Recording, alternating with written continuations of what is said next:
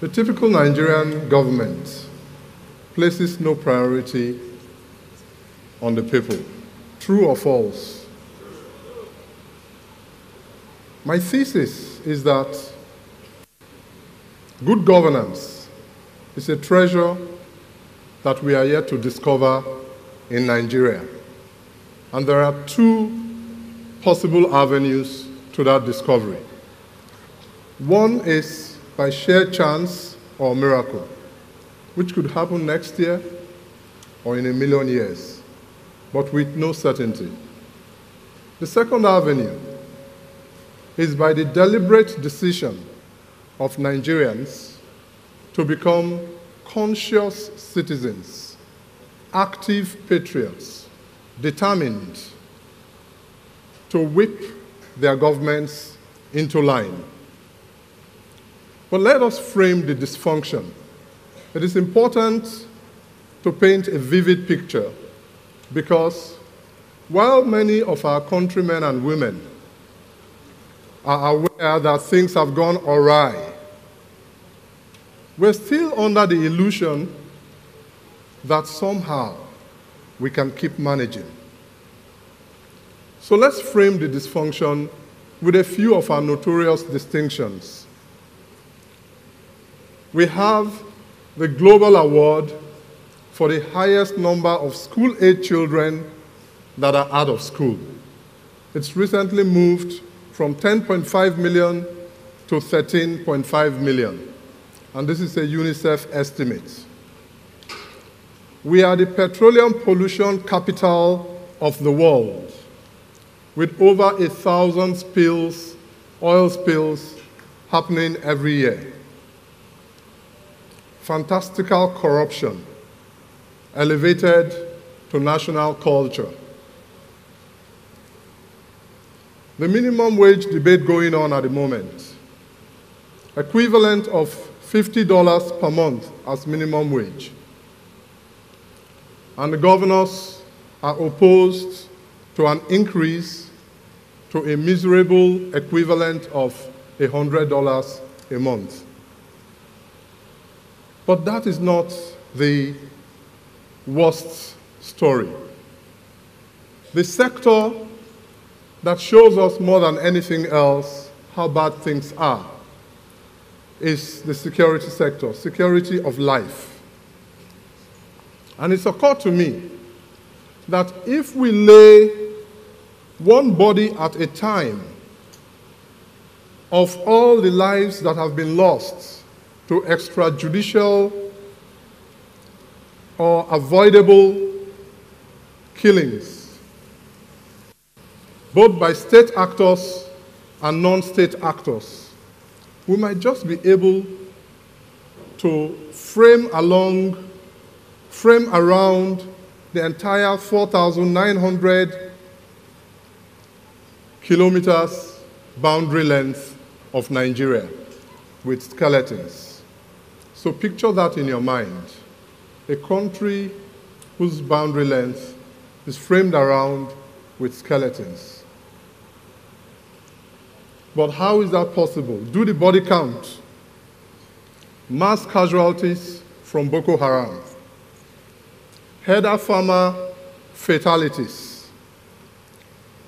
Pensioners who drop dead because their gratuities are denied them. 12 years ago, 61 young angels, many of them would have been in this hall today, and they would have been in various professions.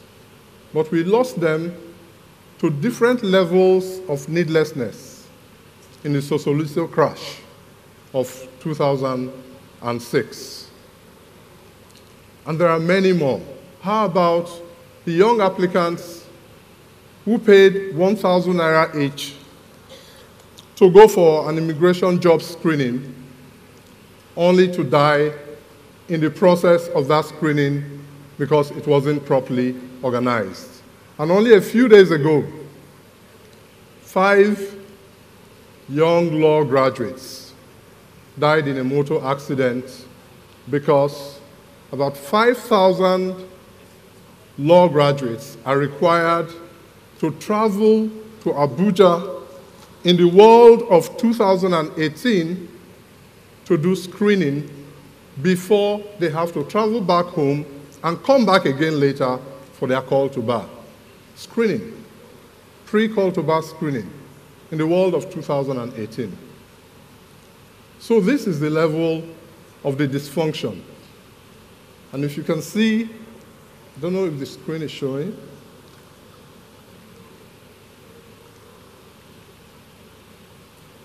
So you can see, not to, not to talk of the youths in the Niger Delta that have been extinguished by the Nigerian military in the last maybe 20 years or so. From Kaiama to Gbaramatu to Odi invasion, Umuechem, Ogoni land. But the dysfunction cuts across the spectrum. In a market-led economy, which is what our country is striving to be, the biggest business of government is to regulate the market operators in a way that ensures fairness and protection for all stakeholders, for the public. But the question is, the Nigerian government, whether at the executive levels or at the legislative levels, as regulators of the markets, are they sleeping or are they sold out? And the best sector to illustrate this to us is the oil and gas sector. So you have a situation where for 40 years, every single day for 40 years, contaminant discharge of crude oil production, from crude oil production, is discharged into the host community, Brass Kingdom, the host community of one of the oil companies every single day for 40 years. And the regulators are shamelessly looking away. In another case, a major oil producer started a massive exploration campaign and there was an, and there was an explosion of the rig the production facility that was being used for that campaign. But the interesting thing is that there was no environmental impact assessment that was conducted before that campaign started. And that explosion was, the, was Nigeria's own version of the American US, the US deep Water Horizon, Gulf of Mexico explosion of 2010, which when it happened, President Barack Obama personally led the charge. Sleeves rolled up, went to the scene four times, and ensured that BP and the other companies that worked with it, with it paid the right compensations, did immediate cleanup, and were duly sanctioned. From 2010 till date, over $60 billion have been spent on civil, civil fines, criminal fines, compensations, and cost of remediation. But in our own case, where that rig, quite similar to Deepwater Horizon happened, and without a prior environmental impact assessment, no real sanctions, have been visited on the company till date. But in this family of scenarios, the one I find most interesting is that about 40 years ago, in 1978, a host community wrote to an oil service company to come and evacuate a major oil production platform that was bought, the company very kindly wrote back to, that is the discharge of 40 years into Brass Kingdom every single day as we speak today. Today's discharge is continuing and it flows into the Brass River. But back to this community that wrote to the oil service company to evacuate the bond platform. And the company wrote back, that's the platform, the company wrote back to the community to say, you know what, we have left that platform for you as gratification for your hospitality while we were here. And that is the letter. So, this is the kind of dysfunction. And these sorts of things can only happen, I say, in societies where there are either no governments or there are no citizens or there is none of both. Two more examples, just for saturation effect. So for two years in Port Harcourt, two gentlemen, Eugene Abels and Tunde Bello, have been leading a campaign to stop the soot. And you can see that the priority of governments from Brick House in Port Harcourt to Aso Rock in Abuja, there are no listening ears. More priority is placed on jamborees and on trading blames over saving lives. And then in 2012, you all remember the mega flood that came. But this year, up till just a few days ago, the 2018 flood came to remind us that government doesn't care. So we live in a society where folks are now forced to embark on self help, to rely only on self help. And that is a very good thing about our society. It is good, it shows a level of resilience, because when the 2018 floods came, a group of Ijaw women under the platform Ijaw Women Connect and some Ijaw youths got together with literally hundreds of thousands of naira and bought relief materials, went into the heart of the floods, and started showing some level of compassion.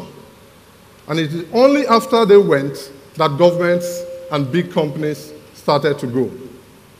But till date, there is no flood master plan. So the question is can we continue to rely on this kind of self help? Individualistic, first aid self help. And I say that self help is good, but it has to be collective self help. The self help where we ginger ourselves as citizens, remind ourselves to become conscious citizens, active patriots, because patriotism is not an idle concept. Patriotism implies a conscious, active effort to do the right thing or to ensure that the right thing is done. In America, there's a notion that all leaders are patriots and that they may only differ in methods. But that is political correctness that is a luxury for us in Nigeria. 20 years after the return to civil rule and seeing the quality of governance that we have had, equal opportunity bad governance between the parties, I think it is time for Nigerians to insist that the presumption must change and that we must reverse and reframe our loyalties. We can't be loyal to the politicians. The politicians must be loyal to us. And we must challenge our governments and our political tribe to understand that we do not presume them to be patriots. They have to prove to us. The presumption of patriotism is broken. So when you get into office, you have to prove to us that you are a patriot. But that depends on us as a people. And so, what is the way forward? The way forward, we have given examples of the self help in the flood situation, the self help in Port Harcourt, where two gentlemen are leading a campaign to end the soot. But we must take it to a higher level. We must scale up. And so, my advocacy is for what I call a citizen movement.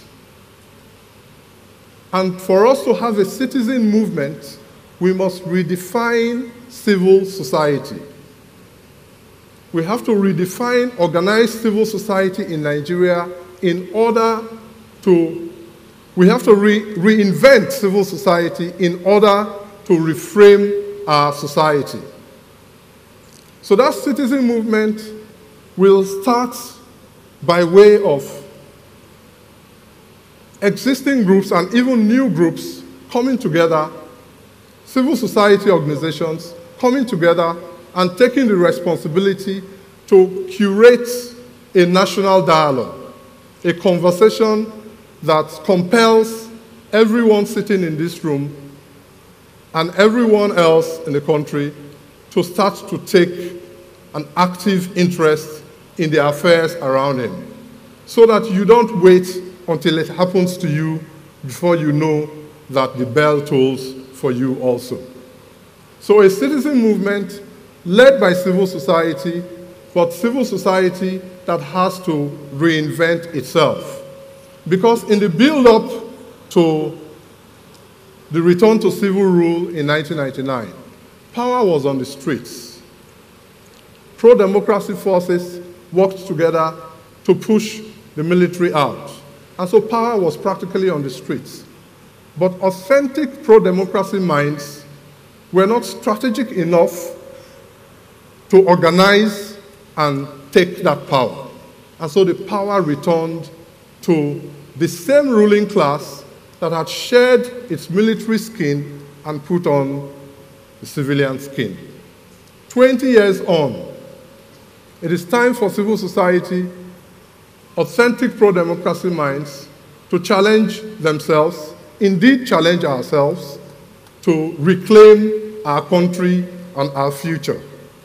But there is one serious deficiency with civil society, and that is that most non governmental organizations, most civil society organizations in Nigeria are funded by foreign donors only. For civil society to be a strong force and make the change that we seek, the idea sim, sounds simple enough, but there's a lot of work to do. Which means that we must restructure, reorient, and then also recreate funding strategies. There must be crowdfunding strategies, domestic crowdfunding strategies. So if you and I are contributing, making contributions, funding these platforms, then we have a sense of stakeholdership. We have a sense of ownership. We're not depending only on DFID, USAID, and foreign, other foreign donors. Their donations are still welcome, but we must take ownership in our civil society platforms so that you then have a network of assemblies that can create a national conversation, a national dialogue, a live national dialogue that is not left only to government.